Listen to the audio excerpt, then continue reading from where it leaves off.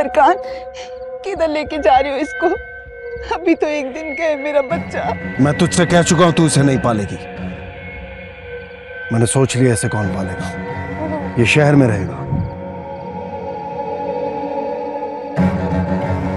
लेकिन शहर में तो मैं भी रह सकती हूँ। मैं पालूँगी इसे। ये तेरा करने का काम नहीं है। इस काम के लिए मैंने किसी और को मुंतखब किया।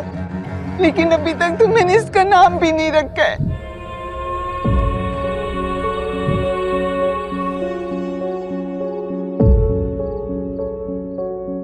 मैंने रख दिया इसका नाम।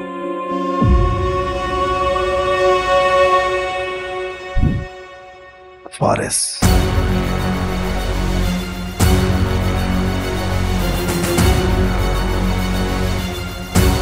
कुल नया।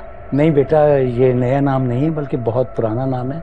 लेकिन लोगों ने रखना छोड़ दिया था इसलिए अब नया हो गया। ठीक कह रहे हैं अंकल फारिस ईरान का बहुत पुराना नाम है।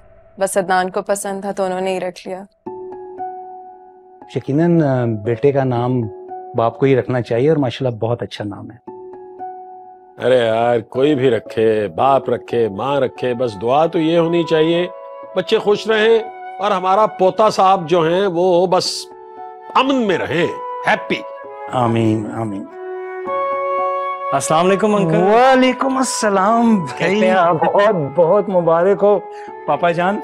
थैंक यू और बच्चे को बच्चे का तोहफा दे दिया माँ को माँ का तोहफा और ये तुम्हारा। अरे अंकल इसकी क्या ज़रूरत थी? मैंने कहा है यार कि इन तकल्लुफात की क्या ज़रूरत है मत किया करो ऐसे। अरे 20-25 साल के बाद तुम्हारे घर में खुशी आई है तो इस मौके पर तोहफा लाना तो बनता है। बनता है या नहीं बनता? अरे अंकल आप आप ऐसे ही तकल्लुफ करते हैं हमेशा।